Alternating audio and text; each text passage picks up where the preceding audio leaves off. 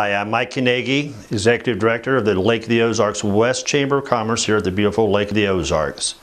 We represent uh, Highway 5 side of the lake as we coordinate in all the lake area. Our contact number is 573-374-5500 or of course www.lakewestchamber.com for all the latest information on the west side. One of the things we got coming up uh, very quickly is on March 3rd is our annual Lake West Business Expo, which is going to be held at the Lake West Christian Academy here in Sunrise Beach, uh, right here on Highway 5. This event is continuing to grow.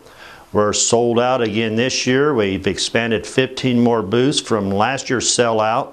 So we're inviting everybody to come out for a one-day show on Saturday, March 3rd, uh, 9 to 4 on that Saturday at Lake West Christian Academy.